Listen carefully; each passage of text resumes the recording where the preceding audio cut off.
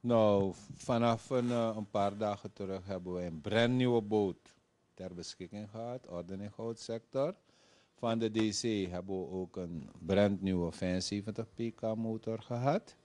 En de boot wordt goed ingezet. Vanmorgen hebben we onze eerste resultaat gehad. We hebben smokkelwaar onderschept op de quarantainerivier. En de komende tijden gaat staatsolie hier activiteiten ontplooien. Ik heb al een bespreking gehad met de mensen van staatsolie. We gaan een operatie hebben op de quarantaine. Op de Nikeri-rivier en voor de kust tot Coroni. En wij moeten dus voor de beveiliging van de buitenring, afstandelijke beveiliging van deze mensen zorgen.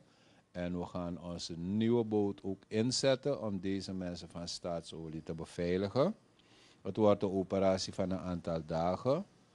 En uh, van hieruit wil ik de mensen die de rivier bevaren ook mededelen dat ze uit de buurt van de operatieboten moeten blijven, omdat die mensen zullen werken met heel gevoelig apparatuur en ze kunnen geen uh, golven uh, accepteren, om het zo te zeggen.